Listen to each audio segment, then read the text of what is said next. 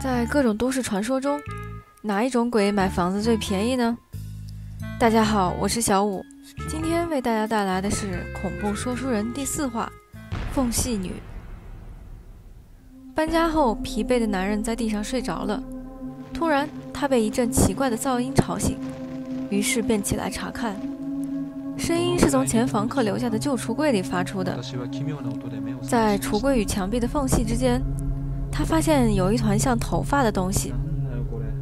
男子拿扫帚去清理时，突然头发自己动了起来，并藏起来了。男人试图去挪动柜子，突然，一只手从柜子后面伸了出来，并死死地抓住了他。惊慌失措的男人拼命想要挣脱。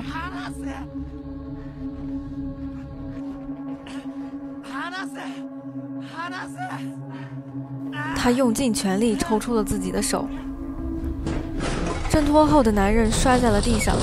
他不顾一切的向前爬去，突然，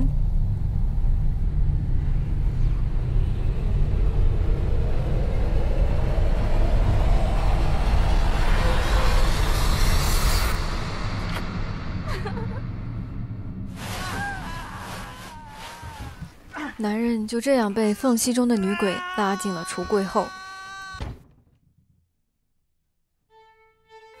怎么样，有个缝就能住的缝隙女，是不是堪称都市传说界最省钱的鬼呢？